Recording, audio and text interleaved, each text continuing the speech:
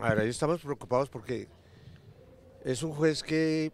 había sido contratista de la alcaldía y ahora es eh, el que falla en contra de la ETV.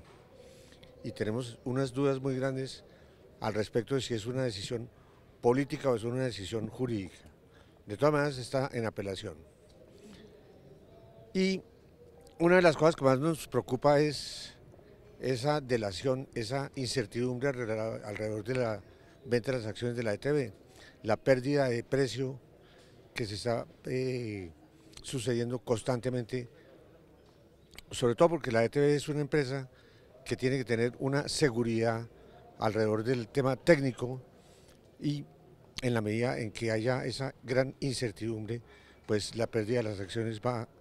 a ser cada vez más eh, difícil para la ETV. Pues fue un contrato con eh, la unidad de Maya Vial durante tres meses con la administración pasada, entonces es, lo, que lo que queremos denunciar de una manera enfática, de juez a contratista y de contratista a juez, y fallando de nuevo las causas a favor de la administración Petro. Entonces es un fallo político,